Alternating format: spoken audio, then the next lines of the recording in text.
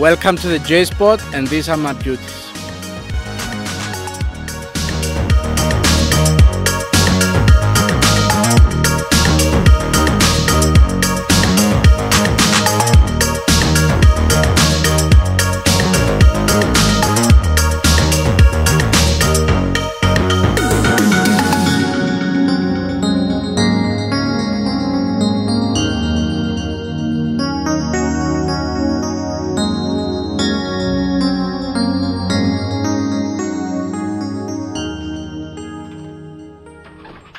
Both of your cars are cars that our viewers have seen a lot of, mainly through our stories, and they're quite renowned around Cyprus. Firstly, the AE86. How long have you had it? Why the AE86? And explain to us a little bit about how you've taken it to the level that you've taken it to. I bought this car back in uh, 2012 from a guy in uh, Mosfiloti, Marios, a friend of me. I found that car uh, for sale in, uh, in a page, in a site, I don't remember where. And uh, I had an Evo 7 back then. I put the Evo immediately for sale. And then after I sold the Evo, I bought the AE86 because it was my dream car when I was young.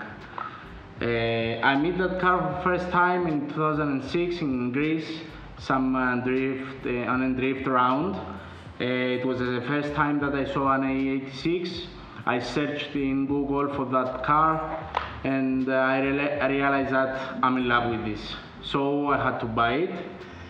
We started the recondition in 2012. At first, we said that we will give about um, two, 20 grand to rebuild the car, fully rebuild the car.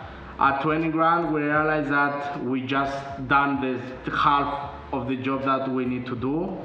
So we started to again to make a new program and to finish our recondition. When we bought the car, uh, the color was silver. We changed all the color inside and outside. All the parts are new from Toyota dealership, uh, from Japan, and some parts uh, are bought from um, Michalis, uh, an owner with an S2000 swap uh, AE86. And after five, five and a half years, we were able to be back in the streets. And so it took you five, five and a half years to get back in the streets. As we know, you've, and many of our viewers know as well, you've always been heavily into auto styling, modified cars. What was it that really kept you passionate about it through the good times and the bad? I always wanted to be something different. I was buying cars that uh, not a lot of guys were, were, were buying in that time. I had a lot of Hondas, okay, everyone loves Hondas. And uh, I had an EK9, an EG6, original EG6. I had three Altezzas. I had a lot of, most, all of my cars, my previous cars were Japanese. But uh, AE86 is something different. It's something that uh, rare, especially in Cyprus and a lot of other islands, as I know. And uh, it's something that I think as the, the, the year pass, uh, nothing will be different with this car. The price will go on, and uh, I really like it. It's something different from the other cars.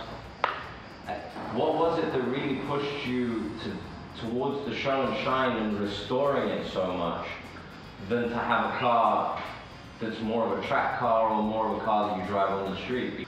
I was never a track guy. I like a lot to be in the track, to see cars running. Um, I tracked my Evo two, three times back in 2011 when I have my Evo. But uh, when I started this uh, recondition, after the the money that we spent, we at first we said, okay, the car will be sometimes track for track days, for a weekend ride, uh, for some fast rides or something.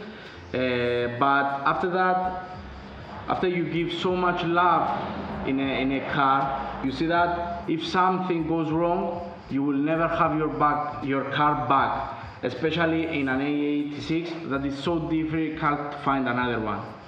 Uh, if we start from the from the flares uh, from the rear, they are fully custom. They cost a lot of money and uh, they're um, they're made from steel from other cars. Front ones are from uh, Volkswagen Golf 2 and rear ones are from Austin Metro. So imagine if something goes wrong, even in the truck or something.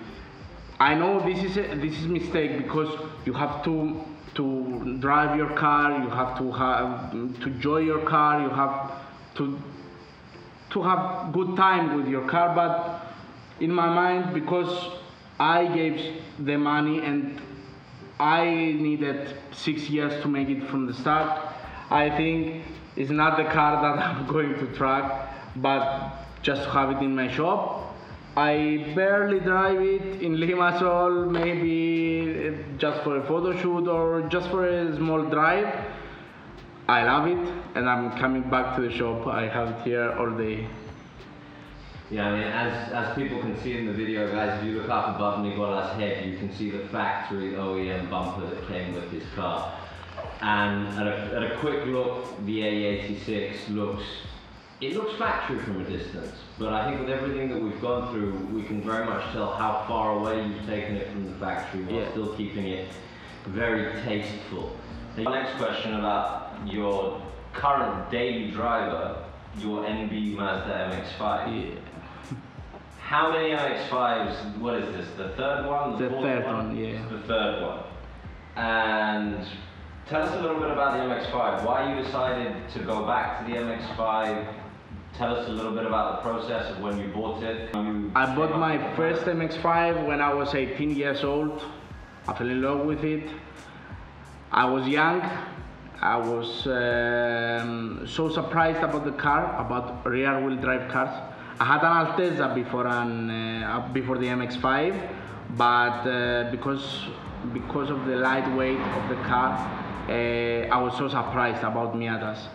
They are just 1.6 liters, not so big horsepower or something, but they are um, true fun cars to drive, especially on mountains or whatever you can do.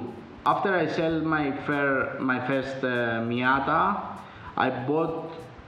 Wait, this is the fourth Miata of me. I just remember because I had, I had, yeah, I had a black one when I was 18 years old. Back in 2010, I bought a white one, MK 2.5, from um, a friend of me, and the car was 2005 year. It was just five years old. It was like new.